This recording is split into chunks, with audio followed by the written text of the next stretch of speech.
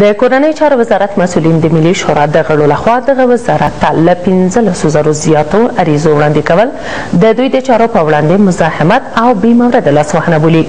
د کورنۍ چارو وزارت د بیان په وینا یو شمېر غړو خپلې شخصي غوښتنې د عریضو په توګه دغه وزارت ته سپارلې چې له همدې کبله د پولیسو د جوړښت لس کلن ستراتیژیک پلان نه دی عملي شوی د ولسي جرګې ځینې غړي د کورنیو چارو وزارت د څرګندونې پر ځای بولي او یو شمېر نور یې بې ځایه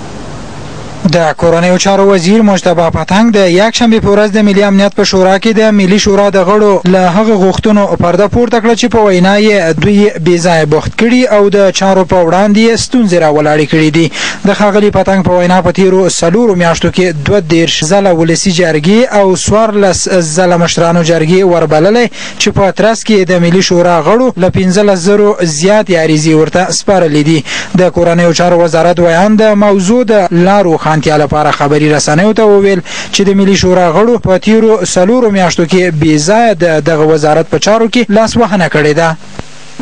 مداخلات بی مورد و غیر قانونی تعداد از وکیلا و سناتورای محترم که باعث کندی و باعث ای میشه که ای پروسه عملی نشه پلیس معیاری نشه پلیس مسلکی نشه و این نهاد شکار مداخلات سیاسی باشه با سلیقه های شخصی افراد بسیار دشوار خواد بود که ما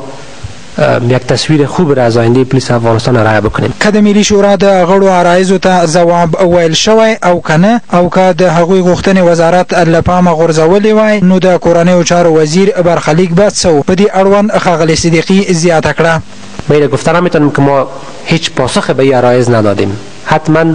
روی فشارهایی که وارد شده بالای وزارت اجرات صورت گرفته یعنی در هیچ شک نیست اگر اگر دی اجرات صورت نمی گرفت باید بیشتر از سی و یک بار وزیر به پارلمان می رفت بیش از چند بار باید استعزام می شد توهین و تقیر و به می ترتیب هر آن فشار که نیاز است که اینا می تانستن بالا یک وکیل و بالا یک وزیر وارد بکنه از استفاده می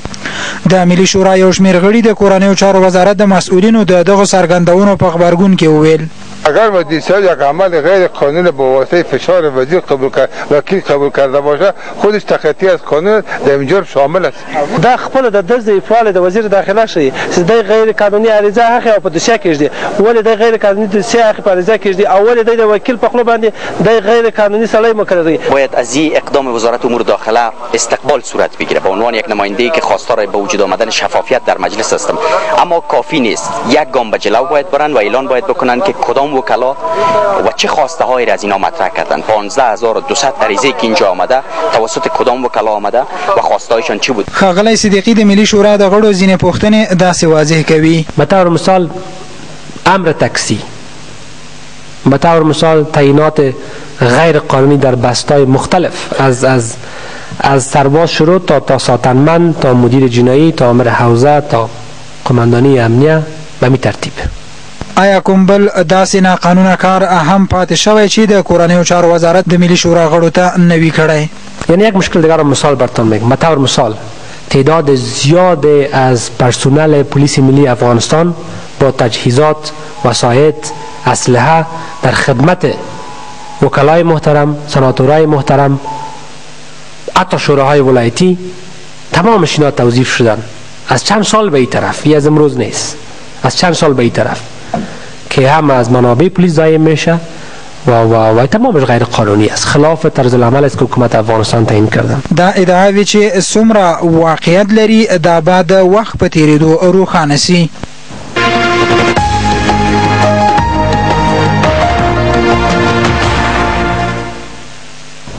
دا هم اقتصادي خبرونه یو شمېر متقاعدین چې د خپلو کلنیو حقوقونو حقونو د ترلاسه کولو په موخه د تقاعد ریاست ته ورغلي په دغه اداره کې له اداري فساد او بیروکراسۍ سره ټکوي دوی وایي په ورځو ورځو انتظار کوي چې د دغه ادارې کارمندان یې د اسنادو بهیر بشپړ کړي خو د تقاعد ریاست مسؤلین وایي د نوي تګلاري په عملي کېدو سره به تر یوه حده په دې اداره کې د اداري فساد مخه ونیول شي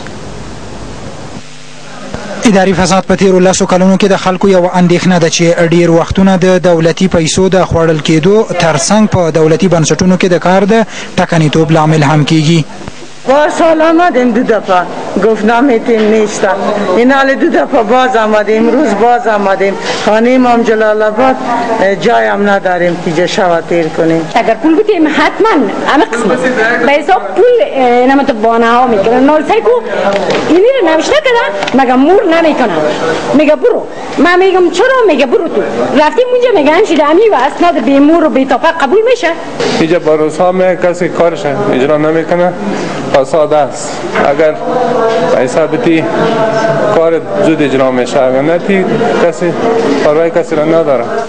خو د تقاعد ریاست د دې ادعاو په ردولو سره وایي په دغه اداره کې د اداري فساد د لمنځه وړلو په موخه ډیرې هڅې کړې دي. فساد که در, در خزینه تقاعد وجود, وجود داشته کلا از بین رفته به خاطر از که در گذشته بودن بعض مشکلاتی که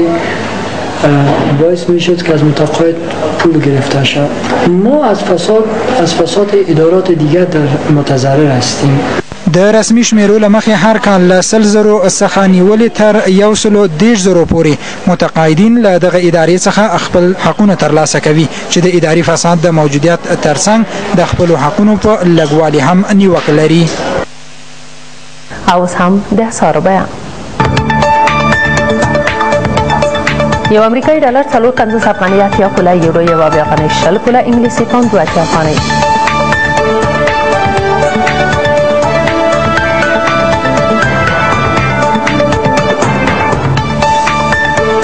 د اماراتو یو درهم څوارلس افغانۍ اویا کوله زر ایراني تومنه پنځلس افغانۍ څلوېښت کوله او زر پاکستاني کلداري پنځه سوه پنځوس افغانۍ